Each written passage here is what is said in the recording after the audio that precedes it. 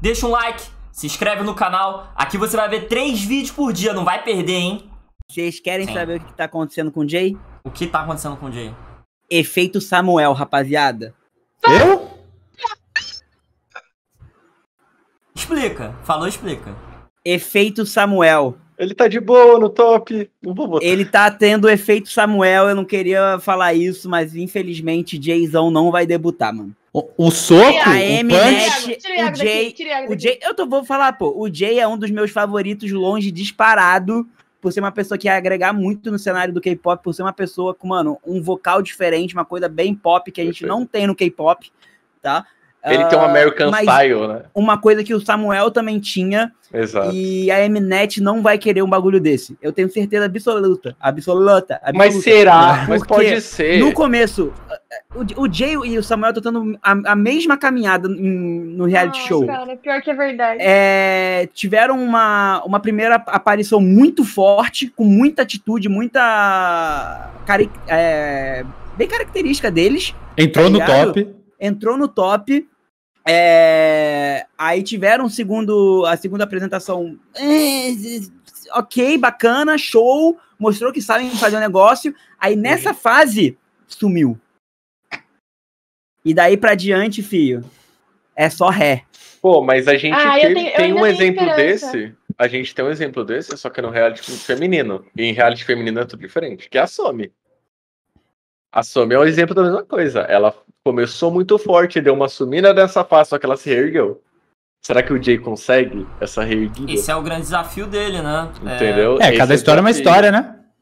Esse eu, é acho, desafio. eu acho que o que mais prejudica o Jay é uma coisa off-programa, que é muito importante, mas que não deveria ser, que é as fake news espalhadas por ele. É bizarro como todos os Sim. dias na internet você vê pessoas espalhando. É muito fácil espalhar mentira, irmão. Espalhar É a verdade streamer, é né, muito velho? difícil. Então, é. Pô, cara, a gente. Eu vejo o tempo todo as pessoas achando que ele é um cara merda. E é bizarro como o Boys Planet. A frase do programa se tornou não acredite nos boatos, tá ligado? Não acredite nos boatos, não acredite nos boatos. Tem um Quase ponto. todo trainee tá falando isso nas redes sociais, porque tá foda, cara. Ô, Conversa ô, muito Thor, com, a gente, com o atual. a gente tem que falar do ponto que a gente sempre fala em toda a CPI, né? Eu acho que não tem como não falar. Thor, o Jay tá no seu top? Sim. Iago, o Jay tá no seu top? Sim. TK, o Jay tá no seu top? Sim. O Jay tá no meu top também. Mari, eu sei que ele tá no seu top, mas você é a única aqui que tem ele no top 1, provavelmente. Nossa, que abalo. Não, tudo bem. É verdade, é verdade, é Entendeu? verdade. Ele não tá no quando um. chegar, quando chegar na votação que você só pode votar em uma pessoa, provavelmente o Jay não entra. Pra mim é Entendeu? mano. Ganwook tem que tem que tá. Ele tem que tá. Esse Você gosta ponto da, é o que é a geladeira, importante. Eletrobook, três portas? Ele é, ele é a cota homem hétero Tá. super Não, top, mas mano. vamos aproveitar pra falar sobre a caída de um membro e comparar com uma pessoa muito importante. Eu acho que é um tópico muito específico. É, é muito interessante sua, sua reflexão. Sim, conversando com o Jesus do K-pop aqui, o Matheus. O Rui, o Rui, ele sofre desse mesmo ponto. Eu acho que o Rui é ainda pior. O Rui, ele tá no top de muita gente. Não diria todo mundo, mas muita gente. Mas ele não é o primeiro de ninguém. Eu digo mais, eu acho que o Jay, ele tá no meio da tabela de muita gente. Cara, o Rui, ele tá. Eu acho que ele é o nono lugar de muita gente. Eu acho que muita gente sente o quanto que ele é foda, o quanto que ele precisa estar no grupo final. Não que é uma obrigação, você vota em quem você quiser. Mas eu acho que o Rui.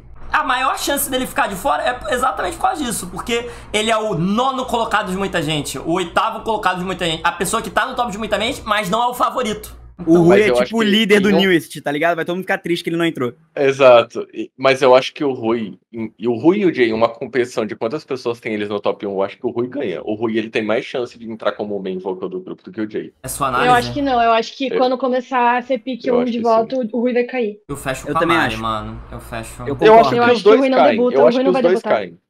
Não, o, o, Jay cai também, mas eu acho. O, o Jay, pra mim, tipo assim, ele é uma incógnita, na verdade. Eu não sei se ele vai estar no line no final ou não. É, assim, eu voto nele, tipo, provavelmente.